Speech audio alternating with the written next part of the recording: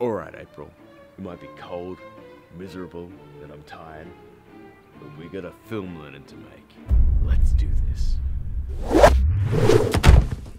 Alright, we locked the door. Film learnin and the masters of After Effects. Hey guys, welcome to Film Learnin, the show dedicated to learning you some filmmaking and learning you good. And welcome to our very first non-flash episode of the season. Today we'll be answering the request of about 500 people by taking on this effect. Random subscriber time. Irma Cat asked, will we be seeing that Quicksilver effect I requested a while ago? Patience pays off dude, and we are finally taking on something different than flash effects. With a speed running effect. Anyway, in order to complete this effect, let's have your actor run past the camera, like so. Now you can film them in slow motion if you like, the effect settings don't change, you just have more frames to work with I guess. You'll also need a copy of Trapcode's Particular. I'll put a link to a demo in the description. Now before we start, there's a ton of tutorials out there for this effect, but none of them, and I mean none, add any displacement or particle trails. So you know, better recognize. Now let's get cracking on this bad boy. To After Effects! Okay guys, here we are in After Effects. I've already got my shot set up in a comp and I'm ready to go. If we check out a preview, you can see I've shot this in slow motion. Now I hear you ask, why would I shoot something in slow motion just to speed it up?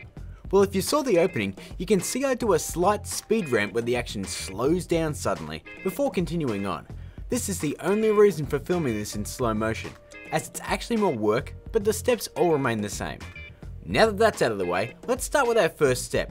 We're going to head up, add a new null object, and by animating the position controls, we'll track the movements of our hand. So let's name this one right hand, make it 3D by clicking here, we'll then scrub forward to when we see our hand, hit P to bring up the position controls, hit the stopwatch, and then we'll scrub through the timeline, not necessarily frame by frame, and we'll match the position of our hand to the null until our hand is once again out of the frame.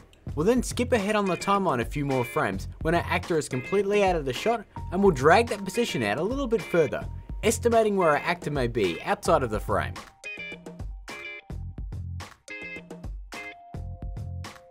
When you're done, it should look like this.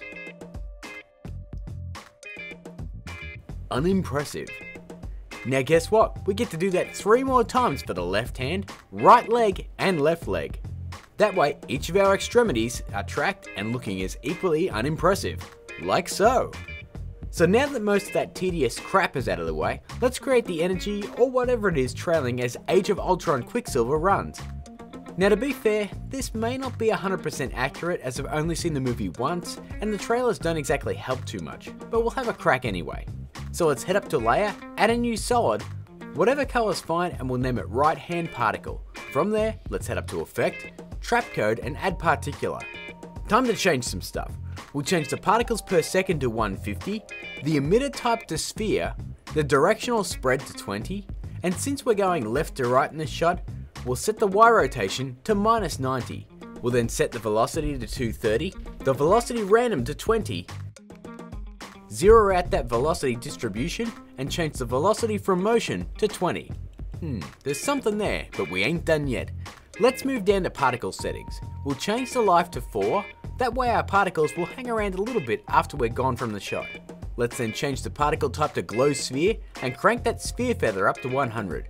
We want to keep our particles fairly small, so let's change the particle size to 6.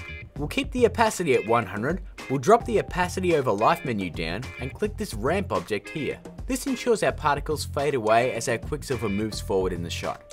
Okay, we've built our particles. Now let's turn them into more of an energy looking thing. Let's head over to presets and type vector. Grab that preset named vector blur and drop it on in.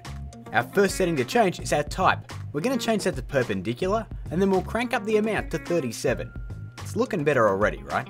Next, let's head up to effect, blur and sharpen and add a fast blur and we'll give that a level of 5.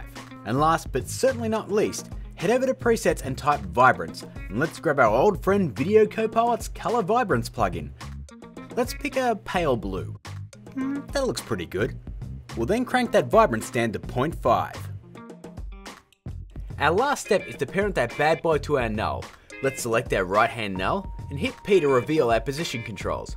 We'll then head up to our particular effect, hold the Alt key and hit the stopwatch on position XY. This will open an expression down in the timeline. We'll then grab the pick whip here and parent that position to our null's position. We'll then finish it off by changing the transfer mode to add, and let's see what's what. Our particles are now attached to our null and flying free. Pretty cool, eh? If you feel the need to adjust the position where your particle stream sits on your hand, you just have to adjust the null's position. But since we're speeding it up, no one's going to really notice if it's off a little bit. We'll then select our left hand null, hit P to bring up the position controls, we'll then move up, duplicate our right hand particle, name it left hand particle, head up to our particle settings once more, hold Alt, click the stopwatch on position XY to cancel the previous animation, we'll then click it again to make a new expression, to which we are of course, parenting to our left hand null.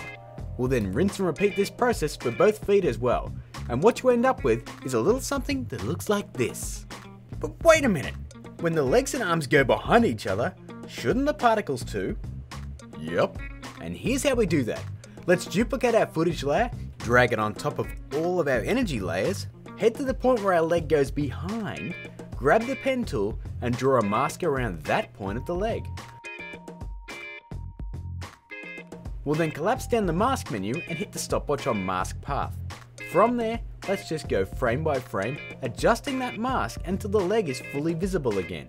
We'll then hit Ctrl Shift D to split the clip, trim the beginning so that it starts when our leg starts to be obscured. Let's then feather it out around 5 pixels. We'll then scrub forward on the timeline and repeat this process if it happens again. Now, let's see what that looks like. Much better, eh?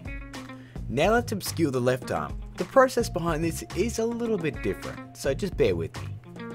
For starters, let's duplicate that footage layer again, drag it up to the top, like so, but this time we're going to grab the right hand particle and drag it up on top. That way we're not obscuring both the right hand particle and the left hand particle at the same time with our mask. Let's select our footage layer and then scrub forward on the timeline until our torso and our hand is fully visible in the shot. This looks like a good spot. We'll then grab the pen tool and draw a rough mask around anywhere you want to obscure that particle stream from being seen. From there, it's following the same steps as we did to obscure the leg, going frame by frame, animating that mask until your character is completely off screen. Now, let's check out a preview.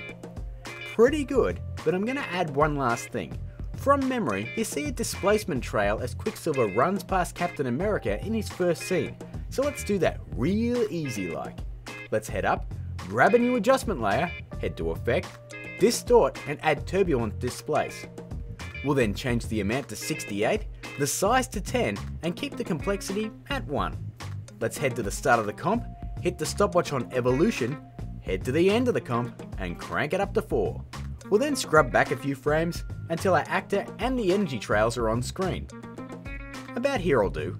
Let's then grab the pen tool and draw a weird looking trail shape. That'll do. Let's hit F and feather it out around 100 pixels. From there, we'll hit P and essentially just animate this trail to follow our actor as he moves through the frame.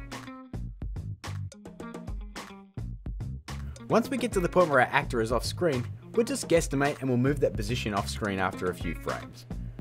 When you're done, it should resemble this. It might look stupid now, but just wait, it'll get better. So now it's time to speed this thing up. Now this part will vary depending on how you shot your footage, whether it's slow motion, and whether you want that speed ramp effect or not. If you do want the speed ramp, click right here to go to last week's episode where I explain how to do that in more detail. But for this one, I'm going to speed up the whole shot. Let's hit Ctrl A to select everything, right click and select pre-compose. We'll then select that pre-comp, right click, head up to time and enable time remapping. And just like with our flash running, we're going to grab that far keyframe and squeeze it down until you find a speed that you like. This looks pretty good to me. We'll then finish it off in the same sort of way, but a little bit different. Let's reopen our original comp, head over to presets and type force and drop CC force motion blur right on our bottom footage layer. Now, why are we doing this here and not in the pre-comp? Because we don't want our particles to be blurred from existence. If we only blur out the actor, they're still visible. So I'm going to give you my settings, but you'll definitely have to find your own on this one. I set the motion blur samples to 255, the shutter angle to 200, and turn native motion blur on. Now before we head back, we're going to do one more thing. We're going to turn on motion blur for each of our particle layers. That way they'll react to being sped up in the pre-comp, but nowhere near as harsh. Let's head back to our pre-comp and check out our final preview. Done. Add up all those steps and you get something like this. Alright, April.